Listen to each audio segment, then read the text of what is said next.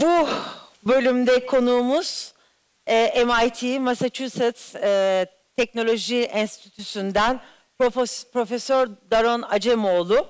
E, kendisini e, yakından takip ettiğinizi düşünüyorum. E, James Robinson'la birlikte yazdıkları Dark Corridor kitabını uzun e, süre konuştuk, tartıştık, zihnimizi meşgul etti. Bugün özel konuklarımızdan biri. E, şimdi sözü kendisine bırakacağım. E, ondan sonra sizlerden soruları rica edeceğim. Ama her zaman olduğu gibi kısa sormanızı rica edeceğim. Bir de Daron Bey'in anlayabilmesi yani size e, görebilecek mi o kadar emin değilim teknolojik açıdan ama kendinizi kısaca tanıtırsanız isminizi soyadınızı çok memnun olacağız. Ben fazla lafı e, uzatmayayım. 30 yılda Türkiye ve dünyayı bekleyen ekonomik, demografik ve teknolojik olasılıklar neler? Söz Daron Acemoğlu'nda. Hoş geldiniz tekrar Daron Bey. Çok teşekkür ederiz. Hoş bulduk. Toplantımızda bizimle birlikte olduğunuz için. Buyurun size bırakıyorum sözü. Ee, Şirin Hanım ben önce teşekkür ederim. Çok e, e, naziksiniz ve aynı zamanda T24'ün organize ettiği bu e, çok güzel konferansa katılabildiğim için, davet edildiğim için çok teşekkür ederim. T24 şu anda e, Türkiye'de kalan e, doğrucu, özgür medyanın e, en önemli parçalarından bir tanesi.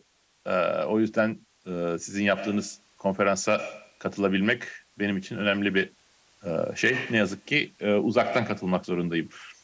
E, gelecek yarım saat içinde Türkiye'nin ve dünyanın ekonomik, sosyal ve politik geleceğini belirleyecek altı gelişmeden, akımdan bahsedeceğim. Bunları vurgulamak istememin nedeni iki türlü. Birincisi e, gerçekten bunların Türkiye ve başka gelişmekte olan ülkelerin, gelişmiş olan ülkelerin geleceğini çok önemli bir şekilde şekilleştireceğini düşünüyorum.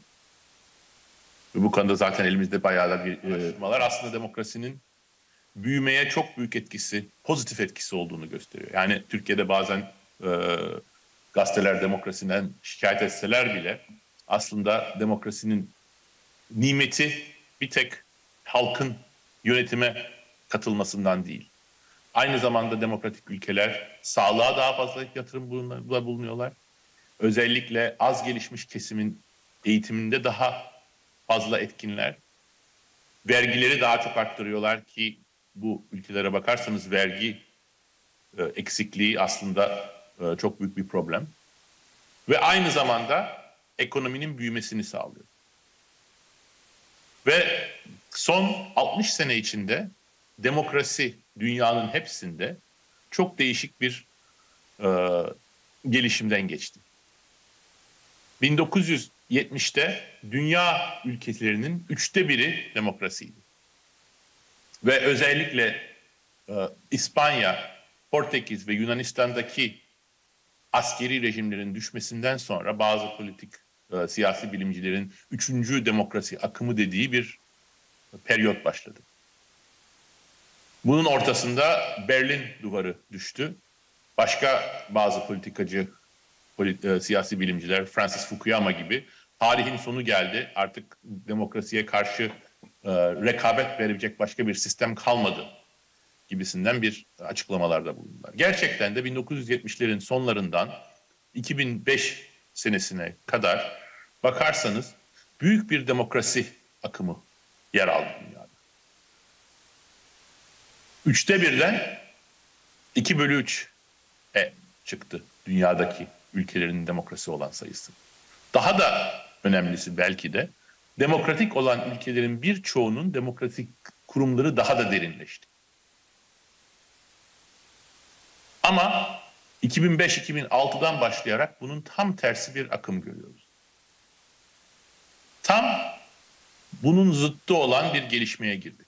2006 senesinden beri dünyanın her tarafında demokrasiler zayıflaştı. Demokratik kurumlar daha çok zayıflaştılar. Demokrasilerin sayısı azaldı. Bir tek Türkiye'de değil. Türkiye'nin demokrasi krizi var şu anda. Çok derin. Ama bir tek Türkiye'de değil.